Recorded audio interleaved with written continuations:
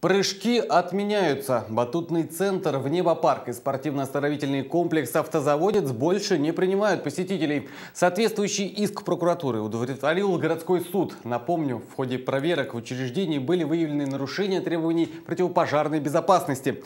Эльмира Гайнудинова продолжит. Конце апреля спортивно-оздоровительный комплекс «Автозаводец» временно приостановил свою деятельность. Это связано с тем, что во время прокурорской проверки были выявлены нарушения требований противопожарной безопасности, среди которых эвакуационные пути были заблокированы, система оповещения работала слишком тихо и ряд других.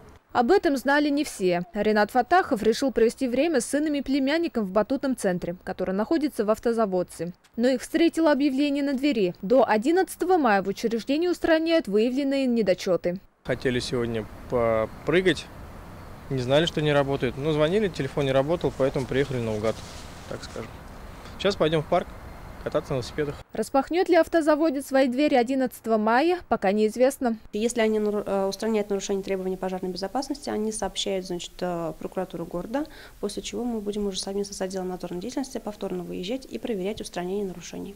В спортивно-оздоровительном комплексе «Автозаводец» выявлено больше 20 нарушений требований противопожарной безопасности. На их устранение направили около 300 тысяч рублей. Уже установлена современная система оповещения, освобождены пути эвакуации, внутренний противопожарный водопровод подчинен. У нас осталось только дверь, установить противопожарные двери, потому что там идет тоже срок изготовления, они идут индивидуальные заказы.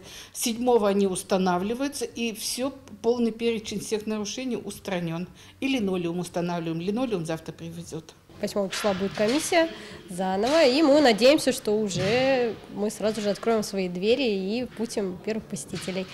Ну, а что хочется сказать, что мы как бы не переезжаем, мы не совсем закрылись надолго.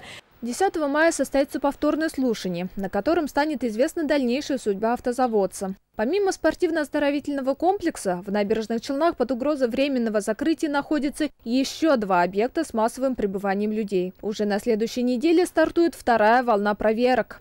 Эльмира Гаинудинова, Дмитрий Кравченко, Андрей Буслаков, Челны 24.